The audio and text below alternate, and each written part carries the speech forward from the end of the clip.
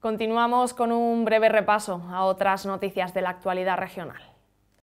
Este fin de semana comienzan las rebajas de verano, aunque muchos establecimientos han lanzado ya sus primeros descuentos. La campaña generará en Castilla-La Mancha más de 6.500 contratos, un 3% más que el año pasado. Según las estimaciones de la empresa de recursos humanos ADECO, Castilla-La Mancha es la octava comunidad autónoma que menos empleo generará. Por provincias, Guadalajara encabezará la firma de nuevos contratos gracias al sector logístico. Le sigue Toledo con la creación de más de 1.500 puestos de trabajo. Los empleos más demandados para la campaña son dependientes reponedores o mozos de almacén.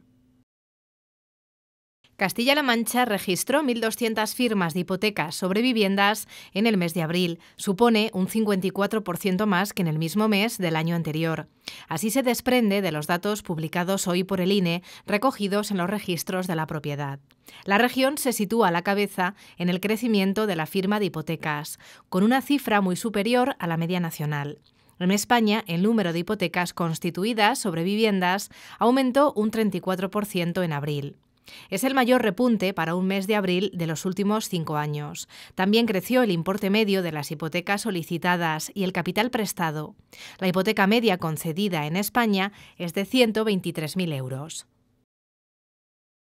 La Universidad de Castilla-La Mancha convoca plazas de profesor asociado. Así se recoge en la resolución que publica el Diario Oficial de Castilla-La Mancha. El rectorado alude a razones excepcionales de esta convocatoria para cubrir necesidades urgentes de cara al próximo curso. La Universidad Regional oferta más de un centenar de plazas en diversas facultades y campus, desde profesores de dibujo en la Facultad de Bellas Artes a fisioterapia o educación física en Toledo. Las solicitudes podrán presentarse vía telemática desde mañana y en un plazo de 10 días.